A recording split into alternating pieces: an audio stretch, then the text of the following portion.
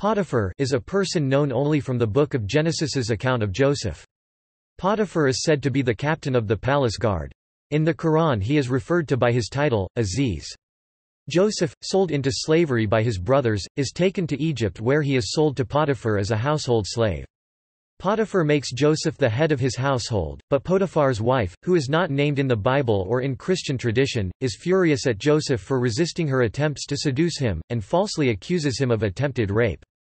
Potiphar casts Joseph into prison, from where he later comes to the notice of Pharaoh through his ability to interpret the dreams of other prisoners. Genesis chapters 39 to 40.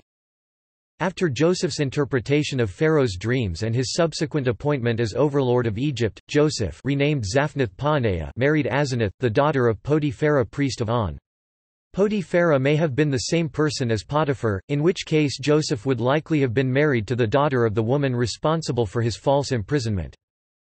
The medieval Sefer HaYashar, a commentary on the Torah, gives Potiphar's wife's name as Zulika, as do many Islamic traditions and thus the Persian poem called Yusuf and Zulaika from Jami's Haft Orang, Seven Thrones, because of the Egyptian location wherein the scene is staged, it is not impossible to detect in this biblical writing also a more recent echo of the very old Egyptian fable of the two brothers Bata and Anpu. The story became very common in Western art in the Renaissance and Baroque periods, usually showing the moment when Joseph tears himself away from the bed containing a more or less naked figure of Potiphar's wife. Persian miniatures often illustrate Yusuf and Zuleika in Jami's Haft Orang, Seven Thrones,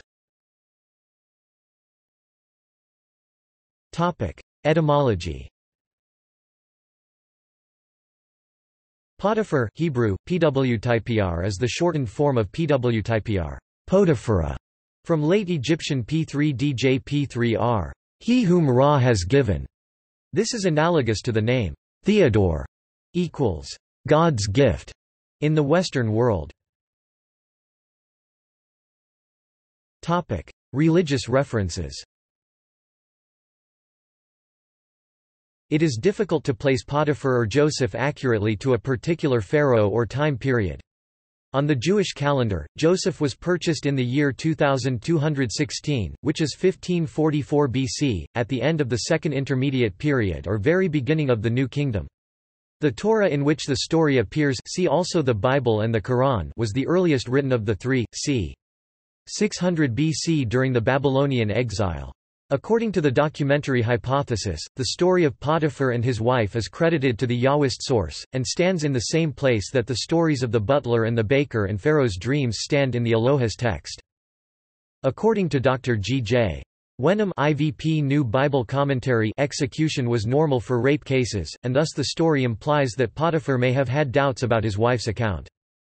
The Book of Abraham, included in the Pearl of Great Price, one of the standard works of the Church of Jesus Christ of Latter-day Saints and by churches of the Latter-day Saint movement, refers to a Potiphar-s hill in Egypt Abraham 1:10, 20.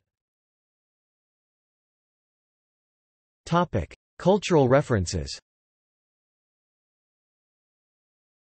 In art the subject is one of the most commonly shown in the Power of Women topos. There is a Persian poem called Yusuf and Zuleika in Jami's Haft Orang, Seven Thrones. In the Divine Comedy, Dante sees the shade of Potiphar's wife in the eighth circle of hell. She does not speak, but Dante is told by another spirit that, along with other perjurers, she is condemned to suffer a burning fever for all eternity. In the John Sayles film Matewan, Will Oldham plays a young minister boy who preaches the story of Potiphar to his small town. In Andrew Lloyd Webber's musical Joseph and the Amazing Technicolor Dreamcoat, Potiphar is a tycoon of ancient Egypt who made his wealth through buying shares in pyramids. Potiphar had made a huge pile, own a large percentage of the Nile. His wife is a seductive man-eater. Both feature in the song Potiphar.